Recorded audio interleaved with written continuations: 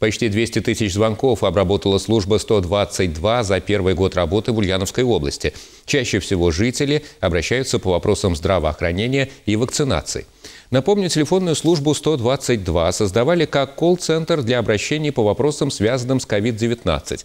Но со временем проблемное поле расширилось. В смену звонки принимают 7 человек, которые при необходимости переключают абонентов на другие службы.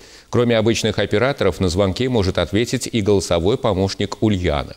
Наша служба работает э, с 8 утра до 20 часов, без выходных.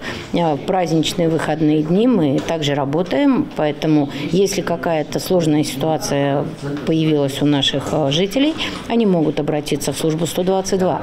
Те, которые заявители у нас звонят после 20.00, сотрудники, приходя в 8 утра на работу, прослушивают запись и обращаются непосредственно к нашим позвонившим абонентам. По информации правительства для граждан, служба 122 будет работать в обычном режиме и в новогодние праздники.